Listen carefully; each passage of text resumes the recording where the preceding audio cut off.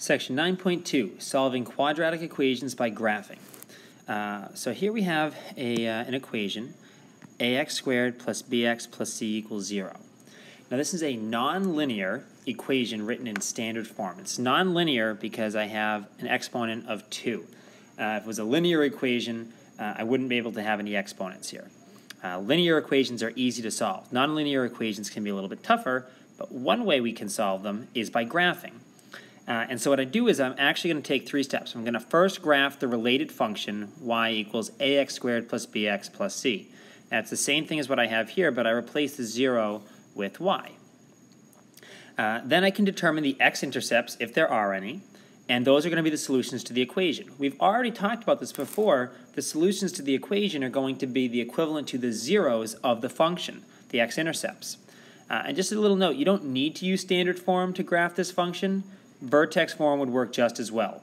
Um, if you happen to have uh, an equation written in vertex form, uh, it would work just, uh, just fine. So let's take a look at uh, how we can do this now. All right, so one example is uh, x squared plus 2x equals 3. Uh, we want to graph that equation. And so my first step is to move all the terms to one side, setting the equation equal to 0. So perhaps with my first example here, I'm going to move everything to the left, and I will start by subtracting 3 from each side. Now pay attention to the fact that there are no like terms there, so I really just have x squared plus 2x minus 3 equals 0. And uh, now I want to replace that 0 with y. So I'm uh, looking at x squared plus 2x minus 3 equals y. And I need to graph that function. Now, in order to graph that function, we just go back to uh, the way that we used to uh, graph. Uh, from standard form, we'd use the x equals negative b over 2a. So x equals uh, negative 2 over 2 times 1 which is negative 2 over 2, which is negative 1. So x equals negative 1 is our axis of symmetry.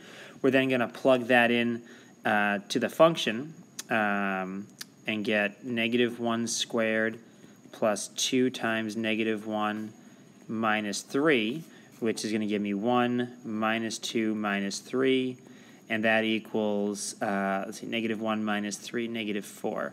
Uh, and that equals my y. So my vertex would be at uh, negative 1, negative 4. So then I could just uh, create an xy table, and I'm going to see x, y, here's a negative 1, uh, negative 4, and then I'm going to have 0 and 1, and negative 2, negative 3, and I would just fill in uh, the missing information here. So we know how to do that. Let's see what the graph would look like. Uh, we can just use a uh, graphing calculator to get that. And so you can see the parabola here um, has that vertex negative 1, negative 4 that we expected. Uh, the A term is positive, so it does, in fact, open up.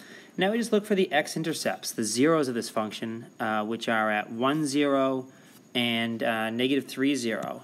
And so the x-intercepts here, x equals 1 and uh, x equals negative 3, are going to be our two solutions. We can check them by plugging them into our original problem. Uh, first start by plugging in 1. 1 squared plus 2 times 1. That should equal 3. That's 1 plus 2 equals 3. That one certainly works. And then uh, I'll check the negative 3. So um, negative 3 squared plus 2 times negative 3. Hopefully that equals 3. Well, negative 3 squared is 9. 2 times negative 3 is negative 6 and 9 plus negative 6, that does in fact equal 3. So both of those work. And, and so then really what that means is I have my two solutions are right here. x equals 1, x equals negative 3. All right, let's uh, see another one. All right, another example here. Solve uh, x squared equals 8x minus 16. Um, we're going to follow the same process. Now we can move all the terms to whichever side we want. We can just graph you know, the parabola however it, it turns out. So we can either move the 8x and the 16 to the left or the x squared to the right. I'll move the x squared to the right, even though I'm going to have a negative, that's going to be okay. So I'm going to subtract x squared from each side, which is going to give me uh, 0 equals, I'm going to still put it in standard form. So negative x squared plus 8x minus 16.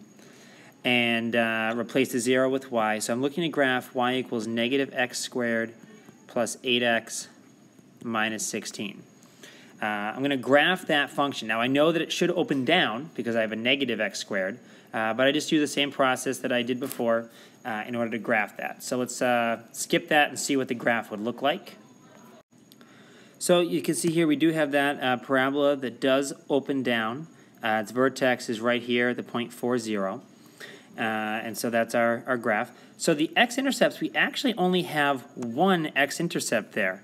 Um, x equals 4, and the point 40 is our x-intercept. So uh, if we check this uh, and plug that into our uh, equation, we should uh, that should work. So I'm going to check it by doing 4 squared equals 8 times 4 minus 16. Uh, 4 squared is 16.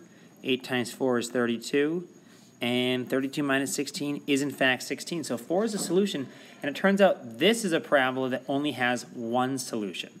Uh, or sorry, a, a, quadratic equation that only has one. The parabola shows that it only has one x-intercept. It has one zero, therefore it has uh, just one solution, which is x equals 4. That's the solution to my original equation. All right, um, let's see one more example.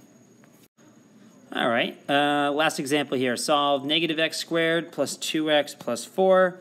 Uh, you can do it whichever way you want here. I'm going to add uh, x squared to each side. So I'm going to have uh, 0 equals x squared plus 2x plus 4 uh, y equals x squared plus 2x plus 4. So it should be opening up. Uh, we find the vertex and uh, we graph it using a t-chart. So let's take a look at what that would look like. We know how to go through that process. And so here we see we have our parabola. We expect it to open up because it's a positive x squared, and it doesn't. Its vertex is at negative 1, 3. So now we're looking to determine the x-intercepts, but it comes down towards the x-axis and turns back up. It's never going to hit the x-axis. So this actually uh, has no x-intercepts. There are none. Uh, what that means is that we actually have a special type of equation which has no solution, or specifically, no real solution. So there's nothing to actually check here. We just have no solution.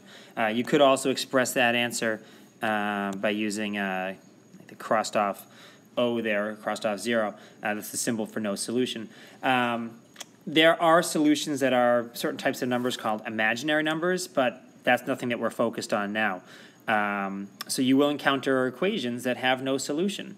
Um, there's not a single number, real number, we can plug into my original equation and have it work out to be true.